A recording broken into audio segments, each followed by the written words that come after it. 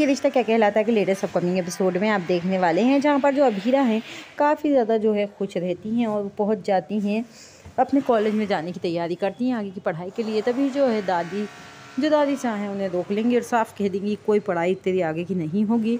जा चली जा वापस रूम में।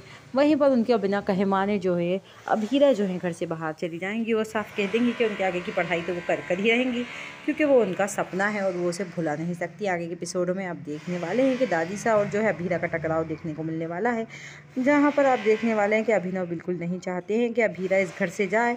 वहीं पर दादी सा साफ़ बोल देंगी, अगर ये पढ़ाई आगे की करेगी तो इस घर में ये बिल्कुल भी नहीं रुकेगी। तो आखिरकार अभी जो अरमान है, अपनी बात दादी सा को कैसे मनवाने वाले हैं? क्योंकि फाइनली जो है अभीरा तो कॉलेज जाया करेंगी और आगे की पढ़ाई भी करा करेंगी और उन्होंने साफ़ कह दिया है दादी सा से और वहाँ से निकल भी गई हैं।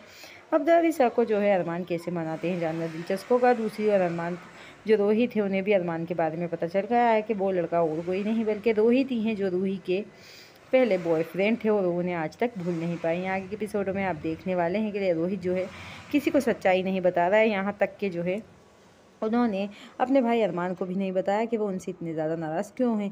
इतनी सी बात भी लेकिन अरमान नहीं समझ पा रहा है कि एक ही तो उन्होंने गलती की है, जिसकी वजह से अरमान उनसे काफ़ी ज़्यादा नाराज़ हैं और उनकी सारी लाइफ भी ख़राब हो गई है। सिर्फ़ और सिर्फ़ अरमान की वजह से, क्योंकि रूही से उन्होंने ज़िंदगी भर के लिए शादी कर ली और रूही जो है उनसे ठीक से बात भी नहीं करती और बहुत ही रूद व्यवहार करती हैं, इसलिए गुस्सा जो है रोहित के सर चढ़ गया।